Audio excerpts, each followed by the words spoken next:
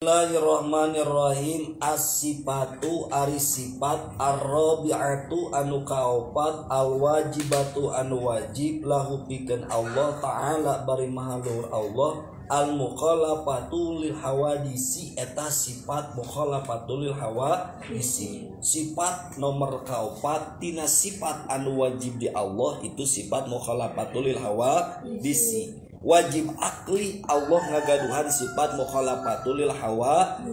Kaharti ku akal goriji Allah ngagaduhan sifat mukhalafatul hawa. Disi teu kaharti ku akal goriji upami Allah teu ngagaduhan sifat mukhalafatul hawa. Disi sehingga keun pikeun jalmi mukmin anu iman ka Allah wajib nekadkeun bahwa Allah ngagaduhan sifat mukhalafatul hawa. Disi sah imana bahkan bakal langgeng di surga bahkan lamun jalmi tenekadkeun Allah ngagaduhan sifat mukhalafatul hawa bisi teu sah imana bahkan bakal langgeng di mana?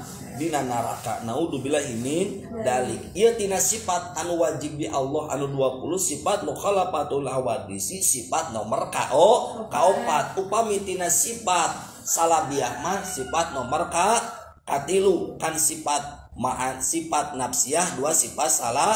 Dia tilu sifat ma'a ni opa sifat mana dia jumlahnya sifat salah. Dia yang seberiji ayat lima hiji sifat kidam dua sifat bako tilu sifat mukhalafatul hawa bisi. Berdasarkan dauhan Allah di Al-Qur'an surat Asy-Syura ayat 11 kumaha? Auzubillahi minasyaitonirrajim. Bismillahirrahmanirrahim. Laisa kamits lihi syai'un wa samiul basir. Itu dalil nakli anu keluar tina al Quran Allah subhanahu wa ta'ala kacabut di Allah nyata makulat. Tegesna Allah sanes jirim sarang sanes arod hiji kacabut di Allah makulat. Dalam arti Allah sanes naon? Jirim sarang sanes arod kedua Allah tetiasa diperkirakan. Ya Allah tuh bisa diperkirakan. Katilu Allah ente bisa ayana ayat dina bagian anu opat. Contoh Allah te dicicingan kujirim atau Allah kancing dicingan di hiji tempat ngabutuhkan karena sejen. Maka nomor kalima Allah sanes arab jeung sanes naon? Sanes jirim. Nomor kagenap Allah teu kaliput ku angkasa. Ya sana ayat di astronop astronopir atau napi di planet naon? Venus Mars Juventus. Eta teka kurungku planet. Tuluy nomor ketujuh Allah teka teka asup bakulat aena ulah ayat pertanyaan aena Allah? Temenang eta. Ayat pertanyaan ayat aena Allah?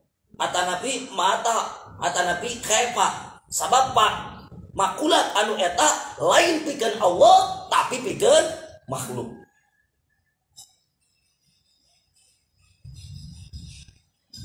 Salah jengna nomor sabaraina delapan Allah teka kurungku ku zaman. Allah teka kurungku zaman. Nomor kasalapan Allah teka kurung di antara langit sarang bumi. Sebab Allah tengah butuhkan karena karena tempat. Bahkan Allah anu nyiptakan langit sarang bumi. Itu kan sifatan-sifatan hawadis anu etama mata dina sifat mukhalafatul hawadisi Allah taala mukhalifun likulli makhlukin. Allah nyulayaan kasa setiap makhluk. Beda Allah makhluk je anu mana antara khalik yang yang makhluk itu beda. Contoh min insin.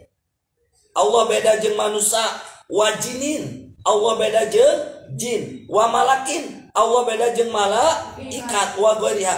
Palayasi iti sebutabi sofil hawadis nusayakan teesah Allah kasifatan ku sifat anu hawadis. Contoh mana sifat anu hawadis teh? Min masin manusia osok lempang. Wakudin manusia osok diuk. Wajawain manusia yang kalau tabadaran seperti mana? Seperti kan manusia min pamin ayat cangkeman. Wa ainin manusia ayat socaan. Wa udunin manusia ayat cepilan. Wa goiriha wa kullu makhutiro setiap perkara anu ayat dina kretek hati anjen bibalika contoh jangkung lebar pendek lintuh. Allah taala bi khilafihi tanazzahu taala an jami awsafil khalqi. Ta Allah mah beda. Dalam arti kumaha? Allah ningal tapi ningalna lain ku soca sapertoskeun ningalna u urang. Allah nguping tapi ngupingna lain ku cepil sapertoskeun ngupingna u urang. Allah kawasa tapi kawasana lain sapertikeun mah makhluk. Maha bersih Allah tina setiap kekurangan kata nabi tina setiap sifatan anu aya di saha. Di makhluk. Allah munazzahun an jami'i khalqi. Allah dibersihkan tina sakabe sifat naon makhluk. Setiap anu aya kretek dina hati urang maka leungitkeun kretek eta sabab Allah beda jeung sakabe makhluk. Allah khalik anu nyiptakeun urang makhluk anu diciptakeun cacak ning urang lah contohna nama. Nyieun hiji sesuatu nyieun gorengan misalnya gehu bala-bala combro akur teu jeung nu nyieuna nyanteu tukang nyen bangku akur teh jeung nu nyieuna henteu hmm, semua sok sanajan tukang nyen bobonekaan atana naon. Patung tetap moal bisa akur. Jeung anu nu nyieuna ya Allah nu nyieuna mata leungitkeun kretek dina hate Allah jangkung. Allah pendek. Allah lebar Allah lintuh. Allah gaduh cangkem. Allah ayat cepilan. Allah biasa ayeuna aya panonan. Eta teh mukhalifun likulil makhluk. Beda Allah jeung sakabe makhluk. Sabab Allah mah teu butuh ka makhluk balik anu butuh ka makhluk. Masa? Makhluk urang. Nya urang saling membu membutuhkan. Allah mah teu butuh ka saha ka makhluk. Jeung Allah beda jeung sakabe anu anyar. Lamun Allah ayeuna akur jeung anyar berarti Allah teh naon hawadis sementara Allah hawadis itu hukumna mus mustahil. Mata lengitkan dikretek-kretek ngabayangkan wah meren Allah teh jangkung padang wah meren Allah teh panjang lebar gede lengitkan. Sabab Allah beda jeung sakabe makhluk. Komo nekadikeun bahwa Allah aya di mana? Di aras. Berdasarkan dalil ar-rahmanu ala arsis tawa. Padahal ala didinya cek ilmu nahu ala didinya bimana istilah lain hartosna Allah aya di mana di aras tapi aras makhluk Allah makhluk anu pang gede-gede nah kok Allah dikuasai. Lain berarti Allah ayah di mana? Di aras da Allah mah butuh karena naon? Butuh karena tempat. Artos tuh dalil wajibna Allah ngagaduan sifat mukhalafatul hawadisi. Lau kana syai'un min al hawadisi masih ta'ala aida kana ta'ala aw paru itu sabu syai'un mimma itasabihi lah al hadis sudah kan hadisan.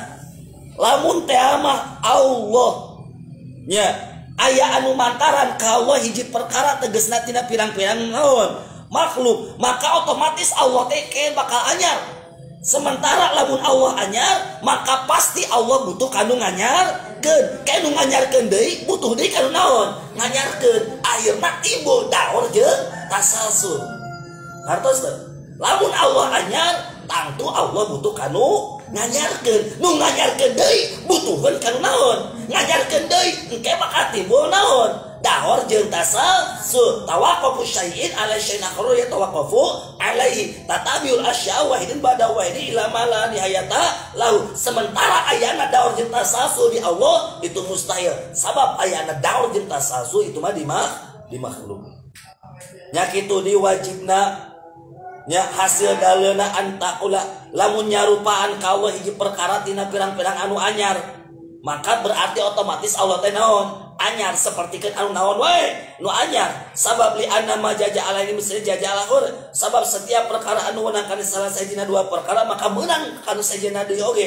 Berarti atuh lamun kitu mah wahudu suhu ta'ala mustahilun. Anyarna ayana di Allah hukumna naon mus mustahil. Kulantaran mustahil ayana anyar di Allah mangka wajib Allah ngagaduhan sifat mukhalafatul hawa disi sabab geus ditetapkeun ceuk payun Allah wajib ngagaduhan sifat kidam kulantaran wajib kidam di Allah berarti wajib sifat mukhalafatul hawa di sini sah di Allah wa idan tapanu tala al hudus sabata mukhalafatu di mana Allah di Allah anyar maka tetap atuh berarti Allah teh mukhalafatul hawa di sini lamun geus ditetapkan Allah beda jeung sakabeh anyar otomatis Allah teh atuh beda jeung sakabeh anu naon nu anyar